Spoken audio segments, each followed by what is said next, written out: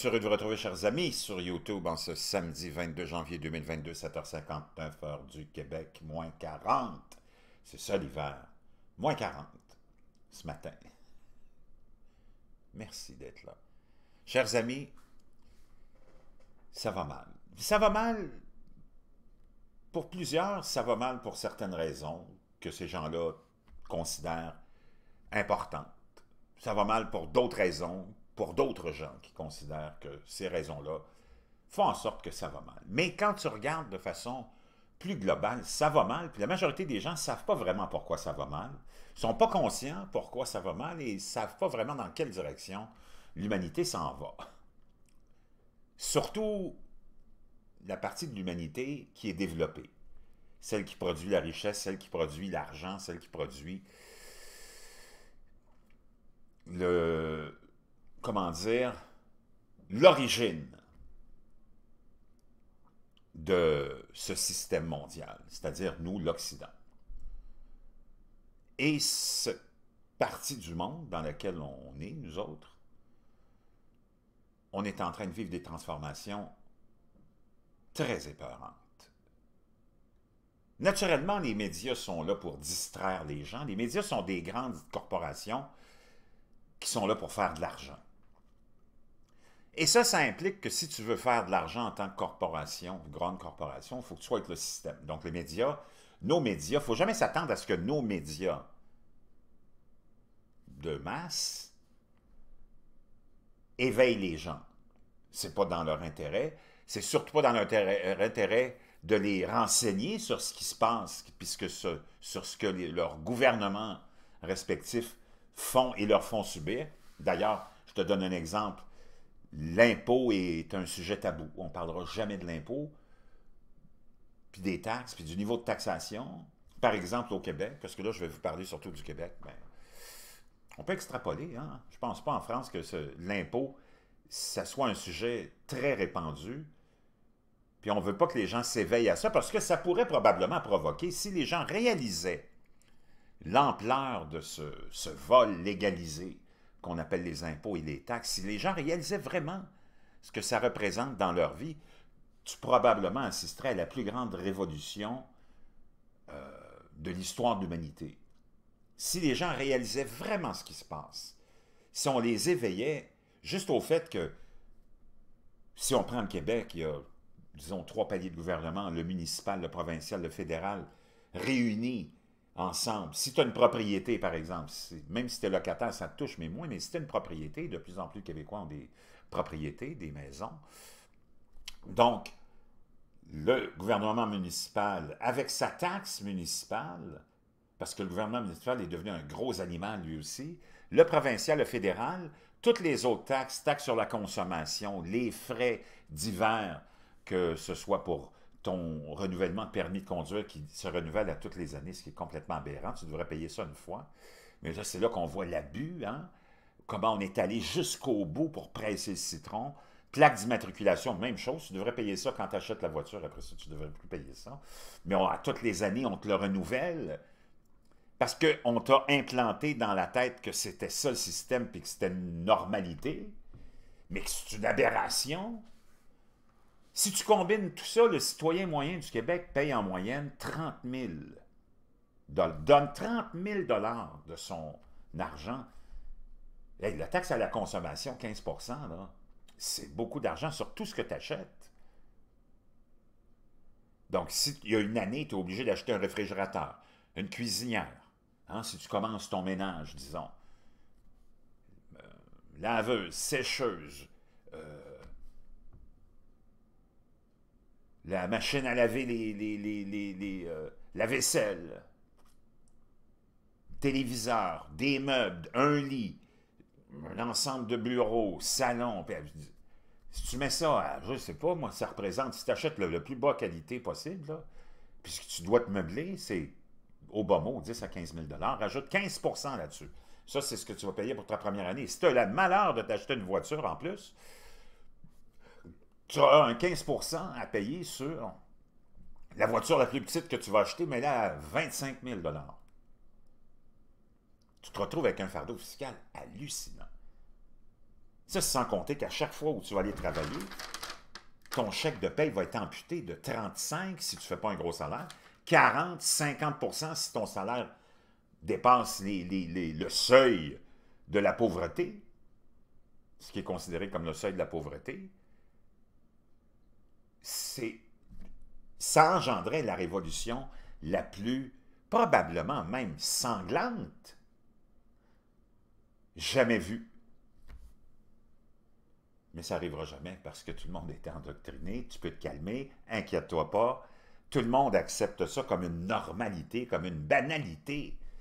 Et après ça, on se demande pourquoi on est toujours cassé comme des clous, pourquoi on est toujours en train d'essayer de se sortir la tête de l'eau, puis qu'on essaye, en plus dans les médias, de dramatiser l'augmentation du prix du lait de 10 sous. Je veux dire une chose, laisse mon argent dans mes poches, remets-moi 300-400 piastres 500 pièces par mois d'impôts de mon argent qui est dépensé de façon scandaleuse d'année après année, d'année année après année, année après année, par tous les gouvernements, tous les partis politiques qui passent au pouvoir, ont aucune considération pour nous. L'argent qui nous vole, en plus, l'impôt devrait être payé au mérite. Donc, si les gens réalisaient ça, puis si tu faisais juste prendre une semaine ou deux de médias traditionnels qui mettraient l'emphase là-dessus pour expliquer aux gens que c'est scandaleux, puis que ça, c'est complètement immoral, en, deux semaines, tu pourrais provoquer puis lancer la plus grande révolution du monde, mais ça n'arrivera pas parce que les médias feront jamais Parce que les médias sont des grosses corporations qui sont complices puis coquiner avec le pouvoir. Et ils sont là pour endoctriner les gens, les garder dans l'ignorance et les divertir. Donc, on t'envoie dans toutes sortes de directions, puis on ne veut surtout pas que tu t'éveilles aux vraies affaires. Pourquoi je vous parle de ça? C'est pour les... Ce que je vais vous annoncer là, c'est hallucinant pour le Québec. Tout ça dans le contexte de la pandémie, on a vu l'apparition du code QR. Code QR qui...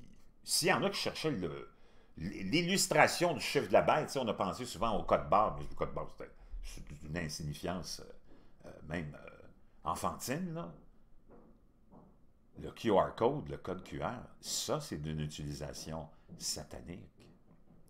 Et imaginez-vous, on a tout normalisé ça. Peut-être que la pandémie a été utilisée pour ça. On a déployé la 5G parce que pour toute cette espèce de système de biométrie qu'on est en train d'installer, que ça s'en vient au Québec, puis ça va aller partout, c'est la Chine puis l'Inde qui ont commencé ça. Tu as besoin de la 5G. Tu n'as pas besoin de la 5G, toi, en tant qu'individu, pour télécharger un film ou quelque chose plus rapidement que tu l'avais déjà avant. C'était déjà assez très décent, puis c'était très bien correct comme vitesse. On a essayé de vous convaincre que vous aviez besoin de la 5G, vous autres. Vous n'avez pas besoin de la 5G. Comme tu n'as même pas besoin de la 4 puis de la 3, la 2, c'était bien suffisant. Mais on est toujours allé vers plus et plus et plus de possibilités avec ces nouvelles générations d'Internet. Pas pour vous, vous n'en avez pas besoin. Tu vas pas sur la Lune ou sur Mars, tu n'opères pas un centre de recherche dans ton sous-sol. À ce que je sache, tu n'as pas un programme spatial dans ton salon. Tu n'as pas besoin de la 5G, tu n'avais pas besoin de la 4, tu n'avais même pas besoin de la 3. La 2, c'était bien suffisant. Qui avait besoin de ça? Nos dirigeants. Pour établir ce système qui est l'ultime, ben, le début vraiment de la fin de la vie qu'on connaît, puis de, tout ce que tu peux imaginer comme concept de vie que tu as déjà vu dans les livres d'histoire, puis que tu as vécu un peu, dépendamment de ton âge. Parce que tout ça s'envole en fumée maintenant. Imaginez-vous, puis je remercie, euh, je pense que c'est Jacques, un de mes abonnés qui m'a envoyé ça. Ça nous vient du Soleil, hein, c'est pas un journal conspirationniste, c'est publié hier, je pense. Euh, laissez-moi. Non, le 28 octobre 2021, donc, mais c'est très, euh, c'est très pertinent. Les Québécois en route vers une identité numérique par reconnaissance biométrique avec un nouveau ministère en bonne et due forme de la cybersécurité et du numérique, parce que naturellement, on va toujours te présenter ça sous l'angle que c'est pour ton bien qu'on fait ça, c'est pour ta sécurité, la sécurité de tes renseignements. Le gouvernement Legault veut doter les Québécois d'une identité numérique d'ici juin. Ça, c'était le 28 octobre 2021, donc il n'y a pas si longtemps. Donc, d'ici juin 2022, on veut que vous ayez une identité numérique. À terme, on parle même d'une identification biométrique de l'individu, soit par l'empreinte digitale. J'en ai déjà parlé déjà il y a quelques mois, peut-être même au-delà d'un an de ça. Préparez-vous, la biométrie, ça s'en vient. Empreinte digitale, ça, ça se faisait il y a un an. C'est pour ça que je vous en ai parlé quand ça s'est apparu en Inde et en Chine aussi, mais moi je parlais surtout de l'Inde. Empreinte digitale, reconnaissance faciale ou imagerie de l'iris de l'œil, je vous avais même parlé de ça. Mais la mission première que se donne le futur ministre de la cybersécurité et du numérique, Éric Kerr, quelqu'un en qui on ne devrait jamais avoir confiance, ce gars-là est d'une putasserie incroyable, quand son projet de loi 6 déposé jeudi matin, en octobre 2021, à l'Assemblée nationale deviendra une véritable loi, sera de réunir sous un même toit virtuel toutes les ressources en cybersécurité, pardon, réparties à travers les ministères, organismes publics, sociétés d'État et réseaux publics du Québec. Avec l'accélération de la transformation numérique, les cybermenaces ont suivi dans les mêmes proportions. Naturellement, on va vous vendre ça pour la sécurité. On parle de 4 milliards d'investissements. 7 milliards jusqu'à présent. On pense plutôt que ça va être autour de 7 milliards. Wow! Trop souvent, nos citoyens sont transformés en commis de l'État, déplore-t-il. Naturellement, ils vont vous donner toutes sortes de, de bonnes raisons pour que vous aimiez puis que vous en redemandiez. Il, il donne un exemple simple. L'école va demander les derniers bulletins. Donc, le ministère de l'Éducation demande aux parents de lui fournir un document qui est fourni par le ministère de l'Éducation, que le ministère de l'Éducation se parle, s'il vous plaît, blablabla. Puis là, ils vont... C'est, naturellement, c'est du n'importe quoi. Mais on en est, chers amis, imaginez-vous, on en est rendu là. Wow! Ça m'amène à vous partager cette nouvelle-là qui a été publiée ce matin par Study Finds, ben, le 20 janvier, c'était plutôt il y a deux jours. L'informatique quantique, ça aussi, tu en auras besoin pour le grand déploiement de tout ce système qui sera mondial dans les pays, euh, naturellement, euh, occidentaux. Je ne pense pas que d'aller... Tu ne pourras, pourras, pas probablement implanter ça dans le fin fond de la jungle amazonienne, là, puis dans la majorité des pays, ce qu'on appelle émergents. Mais l'informatique quantique se rapproche un peu plus de la réalité après que les ordinateurs futuristes aient atteint une précision de 99 L'informatique quantique, ça nous vient de euh, Kensington, en Australie. L'informatique quantique pourrait bientôt devenir une réalité qui changera jamais la technologie numérique.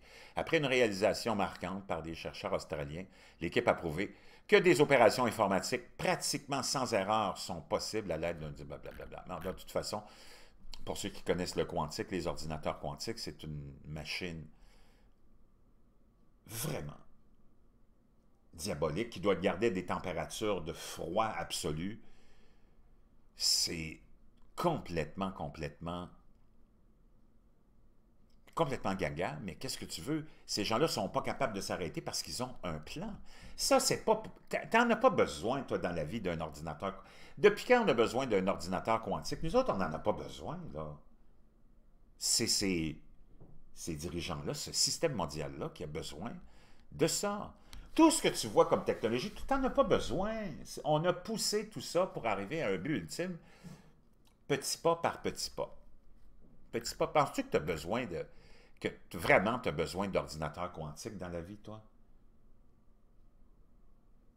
Donc, tout ça est essentiel pour euh, arriver à ce système total de contrôle. J'aimerais te rappeler qu'en Inde, les, euh, les citoyens qui n'ont pas euh, leur carte, carte biométrique, hein, donc soit avec ton empreinte digitale, l'iris de ton œil ou même ton, ADN, en Inde c'est l'ADN, ici c'est reconnaissance faciale aussi, ben tu n'as pas droit à des services gouvernementaux.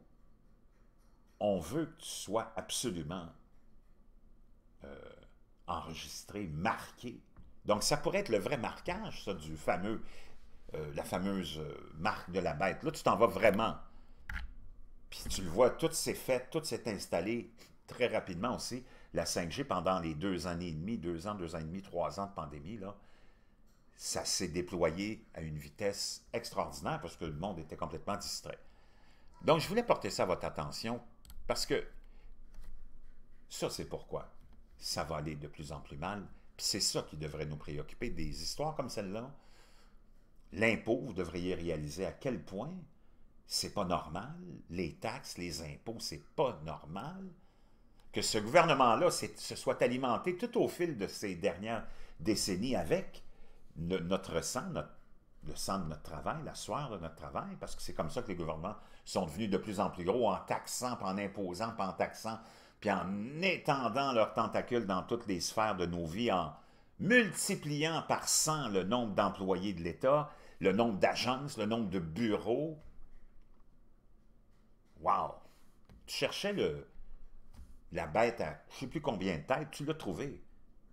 C'est le gouvernement mondial avec toutes ces entités euh, inférieures, au, niveau inférieur, nos gouvernements locaux, qui sont tous unis dans un seul et unique but, depuis toujours, pour vivre au crochet d'un troupeau de moutons qu'on exploite et qu'on exploite, qu'on garde ignorant, juste assez savant pour faire opérer une machine, fermer sa gueule et payer ses taxes et ses impôts et consommer. Moi, je ne sais pas, mais pas mal plus inquiétant que des problèmes de frontières, des problèmes de langue. C'est incroyable, mais c'est vrai comme histoire. Et c'est très triste et en même temps très épeurant de voir l'ignorance, le je m'en foutisme de ce troupeau de moutons.